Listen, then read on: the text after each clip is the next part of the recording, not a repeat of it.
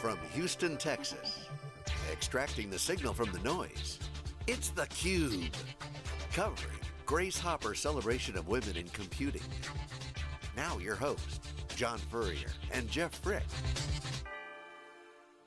Okay, welcome back everyone. We are here live in Houston, Texas for the Grace Hopper Celebration of Women in Computing. This is SiliconANGLE Media's theCUBE, our flagship program. We go out to the events and extract the signal noise. I'm John Furrier, the founder of SiliconANGLE, joined with Jeff Frick, the general manager of theCUBE. Our next guest is Lisa Dugal, who's the Chief Diversity Officer for PwC Consulting.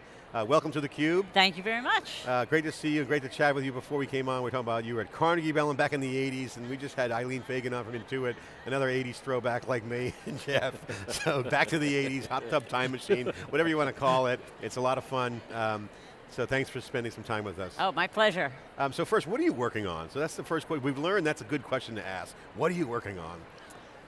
What am I working on? So for me personally, I do a number of different things, right? As my role as Chief Diversity Officer, I am creating and evolving and implementing programs that help all kinds of diversity in the workplace, which ranges from women to minorities to men as well, which is one of our big focus areas, right? Um, as a partner in the practice, I'm also a retail consumer partner. So I work with retail and consumer clients on transforming um, their businesses from strategy to execution. Digital transformation is hot right now. Absolutely. I mean, everything is being automated. I mean, everything's addressable now. Internet Every of Things creates Absolutely. 100% data acquisition. It does, but I think at the same time, it's created such a wealth of, I will call it information, old school, or data information terminology, right? I think companies are struggling with how do you parse through, how do you tell the story, how do you figure out, A, what the data is telling you. If you take the consumer industry for one, right, they've got huge amounts of consumer data now. The question is, how do you use it, how do you turn it into innovation? One of the things you were mentioning before you came on was that you did a thesis at Carnegie Mellon back in the 80s where you were necessarily a computer science major, but everyone had to code, which is great, uh, back in the 80s. Yeah, but maybe we should reinstitute that across universities. I right? agree, I think, I think everyone so. should code. It's like math and science. It's, to me, I think a requisite skill for everybody. But you said your thesis was decision making using computers. Now, fast forward to today, where we were just chatting about, for the first time in modern, in business history, you can actually measure everything. So no more excuses. If you could actually measure everything, Right, so the question becomes, what do you want to measure, right? Yeah, so what does that do for the business? How does that change that, everything? And I think it's a combination of measurement, which is, looks historical, and that's important, right, with predictive, and right, where the world is going, it's predictive analytics, behavioral analytics, right? Because that enables us to figure out how we want to change. If we're only ever looking backwards, we right. get a static point in time, yeah. and that's informative and you need that. And as, as we talked before, you need to be able to parse through the data and decide which is relevant and which is really the lever you want to pull. But I think more and more we're seeing companies doing data modeling and data predictive analytics on just about everything, right? Right. And Merv Adrian loves to talk about data in motion. Uh, from Gartner, and, and you know, it's no longer good enough to have it, look at it, then decide what you're going to do. Now, really with Spark and some of the new technologies, you actually have an opportunity to look at the data in motion, in a transaction in a retail environment, and change, change the transaction midstream to hopefully get to a better outcome. Absolutely. So I what mean, are you seeing kind of out in, in, the, in the world of some of these more advanced retailers and some of the things I, they're working I think on? that's happening. I think the ability to drop coupons as people walk by the aisle is, is more and more prevalent, right? Not just any coupons, but we know you buy a lot of milk, right? Um, yeah. I think you're going to see more and more price changing based on the consumer. I know you, you've been into my store, you're a loyal customer.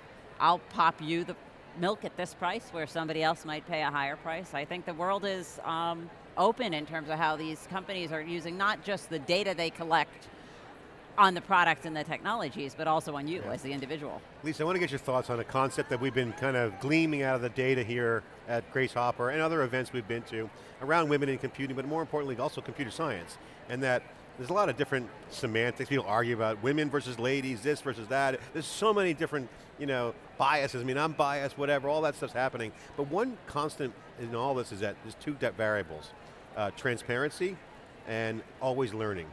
And that seems to be uh, a driver of a lot of change here. And you mentioned uh, digital transformation. What are you seeing out there that's really driving the opportunities uh, around transparency, you could say data, access. If you have data, then things are transparent. always be learning, there's new opportunities. So those seem to be a big uh, pivot points here at this event here, where there's a lot of opportunities.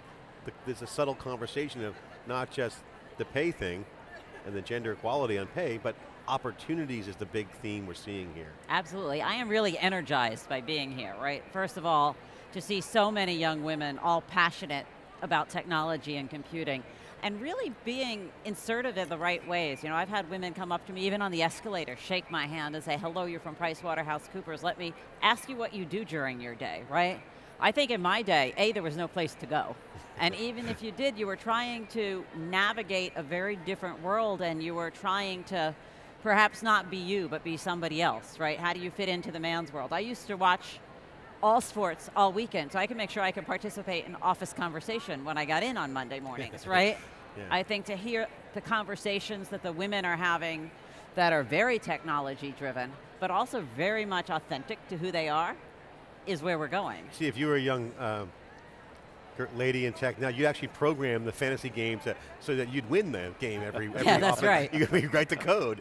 but there's a lot of coding, a lot of developers here, phenomenal growth in developers. We just had a young girl just graduated. She's phenomenal, Natalia, and she got into it. She started in journalism major, and second year in, she switched into uh, computer science because she was tinkering with wearables.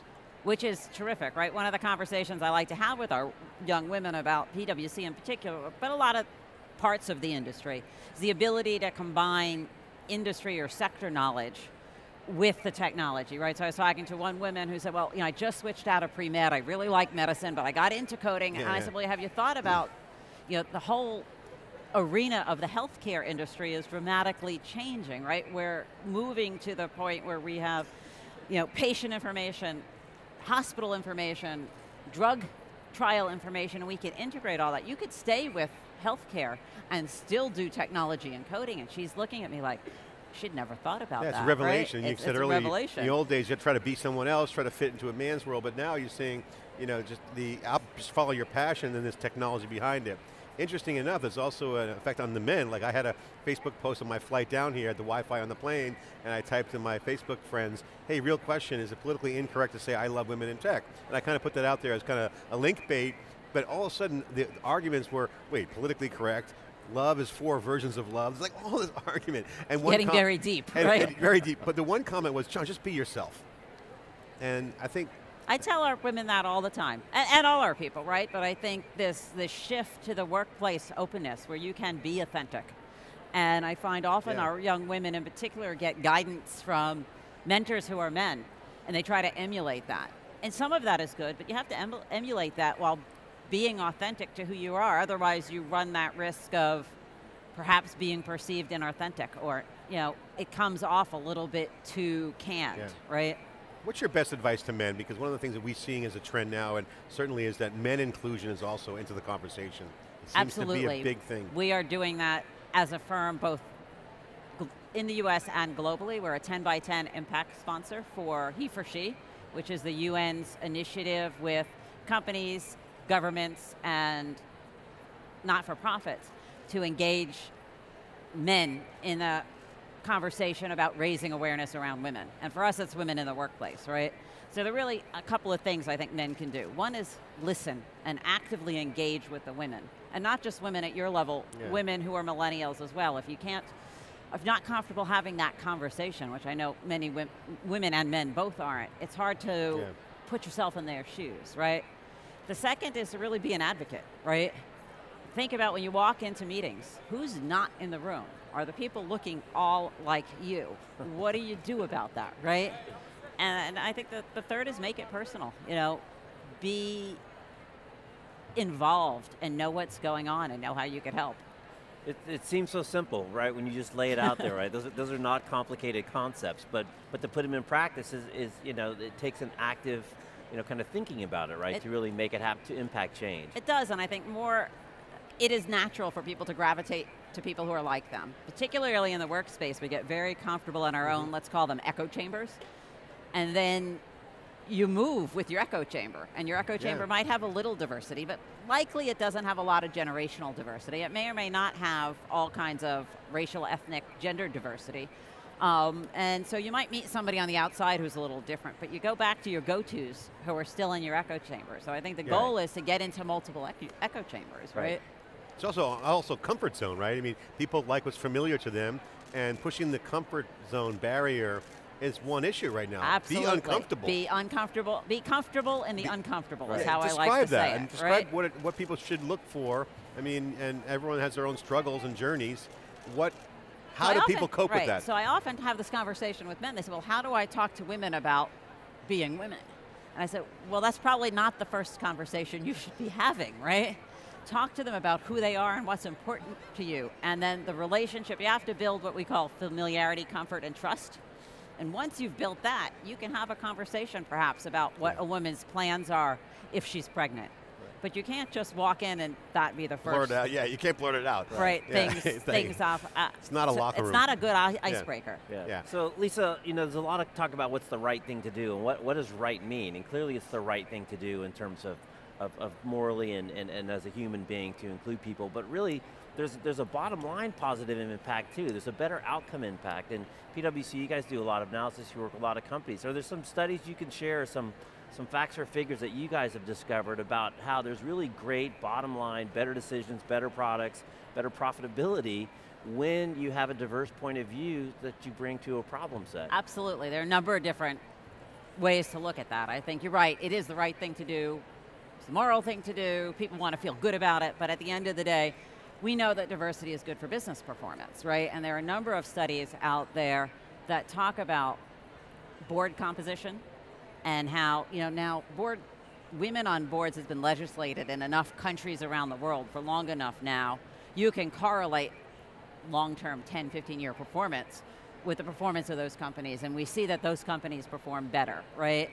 Um, you can look at just the diversity. I mean, another angle of, of looking at it is we do a lot of work with millennials and the millennial studies, right? And the people coming off of campus are more geographic, gender, ethnic minority diverse than any generations we've seen in a very long time, right? There are more women coming off of campus in general than men right now, and they're doing very well, right? So there's also the zero sum game that says if we don't figure out how to accommodate, attract, promote, retain women, then we're not going to be able to get the best of the best of the workforce, and you become at a competitive disadvantage. Well, it's quality. That's the competitive advantage is the quality that you get with the diversity. Absolutely. How do you manage that process? Because some would say diversity slows things down because you, you Yeah. have different perspectives, but the output's higher quality. higher quality and more innovation, Yeah. right? And one of the things we like to do is talk about diversity in a number of different angles. So there's race, gender, sexual orientation. There's also, in our business, diversity of degrees. So we have coders working with MBAs, working with lawyers, doctors, strategists. And part of that is the way you get Yeah. The best thinking and the most innovative solutions to your problems. And I think when you begin to develop and define it that way, there are places for more per- people to get on the wheel, so to speak, Right. right? Yeah, yeah. Everybody is thinking about diversity, not just you look different or you experience, but you bring a different perspective to the problem because you have a different background, where you grew up and what you studied. Yeah, it's, it's just it's just funny that you know in being diverse, you're actually leveraging people's biases to get to a better solution. Absolutely. I Versus think the other way around. That's right. way around. And I think that there's a movement now, and we're really moving from thinking about being equal to thinking about being equitable, right? Equal would say if you have um, three kids peering over a fence, one's four foot, one's five foot, one's six foot.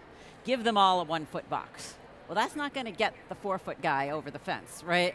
What you really have to do is give them each a size box that they need, right? So the fi- six foot kid probably doesn't need a box at all if it's a five foot fence, right? The five foot kid might need a little step stool, and the Yeah. four foot kid probably needs a, a, a large cube, right? Yeah. Right. That's being equitable. It's not Based necessarily on being outcome. equal. Based, on, an- the outcome. Based on the outcome right. of the objective Right. versus some statistical, equitable.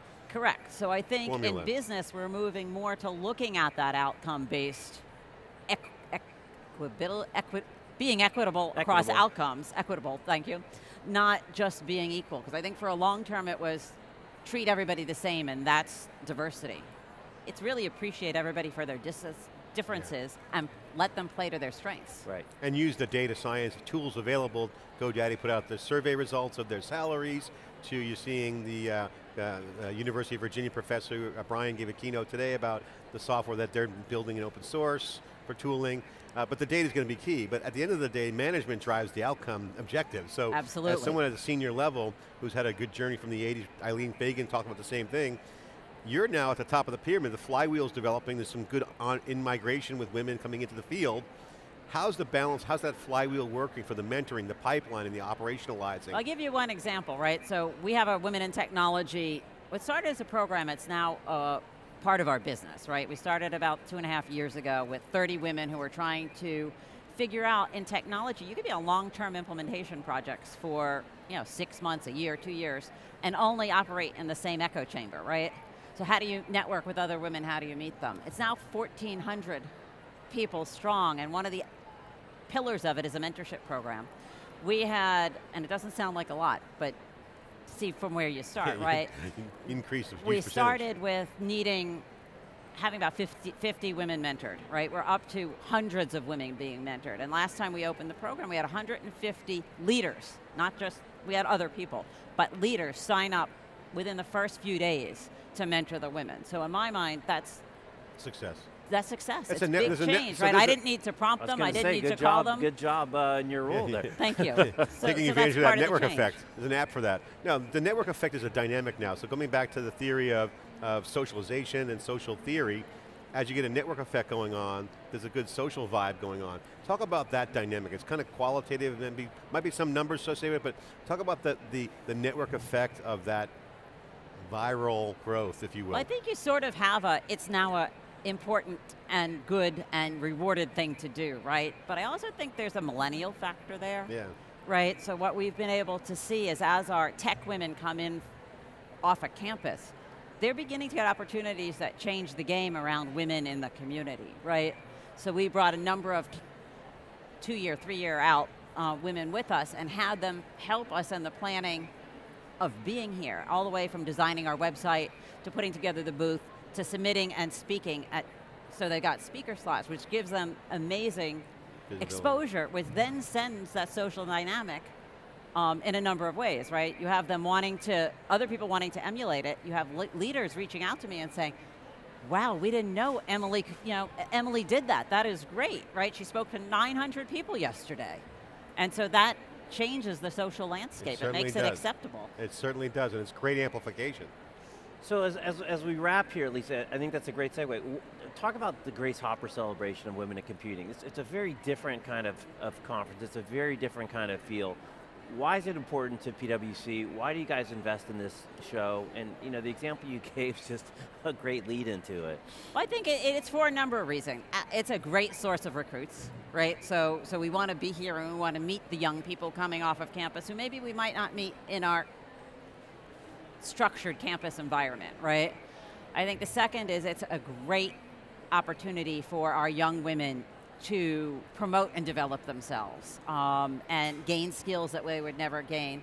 And I think the third is just to empower our women just by being here. And even the emails I'm getting from our women who are not here and our men who are not here, the fact that we are here has sort of had a little bit of a viral effect. Yeah, it's a FOMO, fear of missing out. People you're missing out. It's an amazing experience.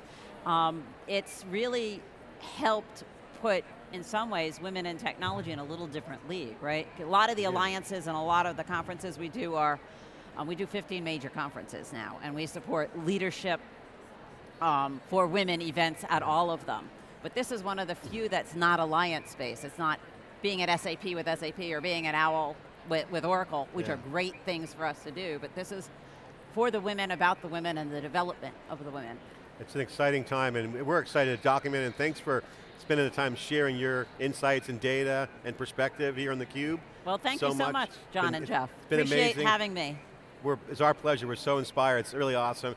And we, if you want to be part of theCUBE, we are hiring, We're looking for women, digital scientists, data analysts, on-air hosts, and you know, we've been shamed a little bit for having an all-male team here. I was just gonna we, ask you. uh, we are looking for powerful, strong, smart women who want to join theCUBE, we're hiring. Um, so uh, contact us offline.